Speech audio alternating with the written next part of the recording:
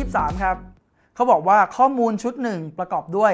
3 4 มี 4 2 ตัว มี5อยู่1ตัว มี 8 2 ตัว แล้วก็มีเลข 9 แล้วก็เลข 10 นะครับ ถ้าเพิ่มข้อมูลอีก 2 ตัว อีก 2จำนวน เพิ่มข้อมูลอีก 2จำนวน แสดงว่าตรงเนี้ยมาเพิ่มอีกกี่ตัวครับ เพิ่มอีก 2 ตัวเชิบใส่ลงไปทำให้ข้อมูลทั้ง 10แสดงจากเดิมเป็น 8 ใช่ไหมเป็น 10เนี่ยมีฐานนิยมเท่ากับ4อะไฮไลท์คำนี้ครับ ฐานนิยมคืออะไรครับ ฐานนิยมคือตัวที่มันซ้ำกันมากที่สุดใช่ไม่ใช่ ฐานนิยมเป็น 4 แสดงว่าหมายความว่าอะไร มันเติมไป 2 ตัว แสดงว่าใน 2 ตัวนั้นน่ะต้องมี 4 อย่างน้อย 1 ใช่ไม่ใช่ ใช่ไหมต้องมี 4 อย่างน้อย1อาจจะเป็น 2 ตัวเลยก็ได้ดันใส่ไปตัวเดียวก่อนดันมี 3 4 ใส่เพิ่มอีกหนึ่งก็กลายเป็น 3 ตัวแล้วถูกไม่ถูก แล้วก็เหลือเลข 5 เลข 8 เลข 8 เลข 9 และเลข 10 และอีกตัวหนึ่งเป็น x ครับ อีกตัวหนึ่งยังไม่รู้นะ อีกตัวหนึงยังไม่รู้ อีกตัวหนึงเป็น x แล้วกันอะ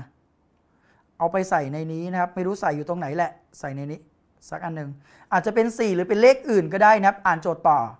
เขาบอกว่าและมัธยฐานเท่ากับ 6 มัธยฐานคืออะไรครับ มัธยฐานคือข้อมูลตัวตรงกลางใช่ไม่ใช่ ใช่ไม่ใช่เดี๋ยวลองดูครับ ข้อมูลตัวตรงกลาง เรามีทั้งหมด 10 ตัวตัวตรงตัวตรงกลางของมันคือ ถ้าเขียนให้ละเอียดนะ ขอเอา 10 ไปแทรก ขอเอา x ไปแทรกเลยนะครับ เพราะเรายังไม่รู้นะ เราจะได้หาได้ว่าตัวตรงกลางของมันอยู่ตรงไหน สมมติ x ไปแทรกเลย ตรงกลางของมันคือตรงไหนครับ คือระหว่าง 5 กับ 8 ใช่ไม่ใช่ ซ้ายมือ 4 ตัวขวามือ 4 ตัวรวมกันกับตรงกลาง 2 เป็น 10นั้นถ้าแบบนี้หมายความว่ามัธยฐานเท่าไหร่เนี่ยมี 2 ตัวจับบวกกันหาร 2 แต่เขาบอกมัธยฐานต้องเป็น 6 ใช่ไม่ใช่นั้นถามว่ารู้หรือยังว่า x ต้องเป็นเท่าไหร่ ตัวนี้มันต้องเป็น 6 แสดงว่าตรงนี้มันต้องเป็น 5 บวกกับอะไรครับ ถึงจะได้ 6 5บวกกับ7เป็น 12 หาร 2 เหลือ 6 แสดงหมายความว่า x ตัวนี้ต้องมีค่าเท่ากับ 7 ใช่ไม่ใช่ที่มันไปเติม โอเคนะดังนั้นถ้าเราจัดเรียงข้อมูลใหม่ จัดเรียงข้อมูลใหม่มันจะได้เท่าไหร่ครับ มี 3 แล้วก็มี 4 อยู่ 3 ตัวครับ แล้วก็มี 5 แล้วก็มี